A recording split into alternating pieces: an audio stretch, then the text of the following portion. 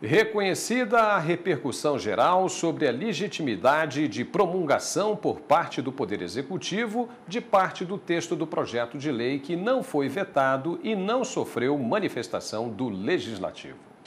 O relator do caso, o ministro Luiz Fux, acredita que a matéria tem uma grande relevância jurídica por afetar os estados e municípios que devem obedecer às mesmas regras legislativas aplicadas para a promulgação de lei no âmbito federal. No caso específico, o recurso foi interposto no Supremo pelo prefeito de Lagoa Santa, em Minas Gerais, contra a decisão do Tribunal de Justiça do Estado, que declarou a inconstitucionalidade de uma lei municipal. O TJ Mineiro afirmou que o chefe do Poder Executivo não poderia promulgar e publicar apenas parte do texto que não sofreu veto.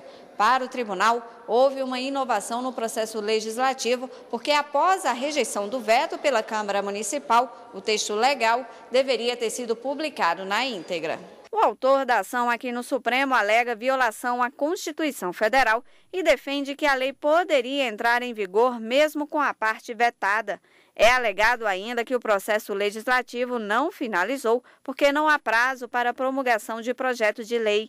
O relator do recurso, o ministro Luiz Fux, lembrou que a jurisprudência da Corte é no sentido de que o texto não vetado pode ser sancionado e promulgado pelo chefe do executivo e que há julgamentos em que o Supremo determinou que a parte do projeto que teve o veto recusado pelo Legislativo deve ser promulgada e publicada para que o processo seja concluído. Diante do reconhecimento da repercussão geral, a matéria ainda será submetida a julgamento pelo plenário do STF.